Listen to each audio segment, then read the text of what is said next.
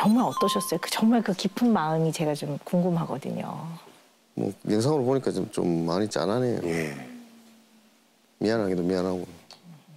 그리고 남편분은 이 신혼 초부터 예. 나 아내분한테 나 생활비 못 준다.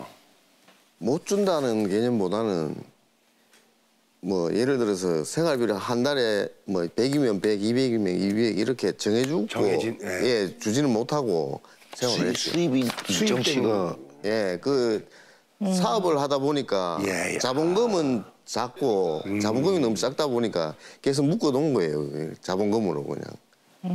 그걸로 이제 또 차 사업하면서 또 사, 사고 팔고 사고 팔고 이렇게 하다 보니까 근데 가장 그 궁금했던 게 이제 맞벌이를 분명히 하시는데 왜 아내분만이 생활비를 다 감당을 하셔야 되는 건지가 너무나 궁금했었거든요.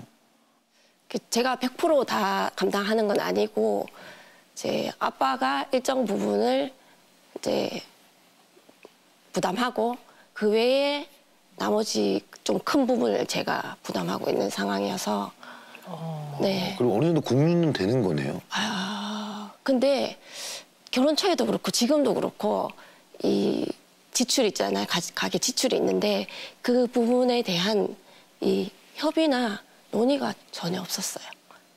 그럼 지금 현재 생활비를 어떻게 부담하고 계세요? 제가 네, 그렇게 하는 부분은 집 아파트 대출금, 네, 보험료 어, 네. 뭐 요, 요 정도 그럼 대략 그 액수가 어느 정도 되는지 여쭤봐도 될까요? 한 100만 원 정도 어, 100만 원 예. 정도. 네.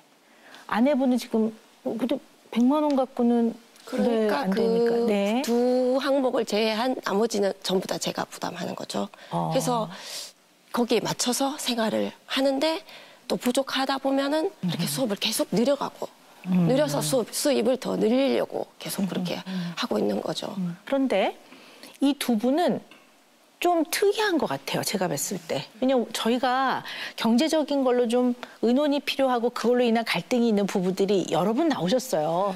근데 이 두 분은 왜 특이하냐면 정말 경제에 대해서 서로 돌아가는 거를 전혀 의논하지 않고 그리고 궁금해하지도 않고 그 다음에 물어보지도 않고 서로한테 요구도 안 해요.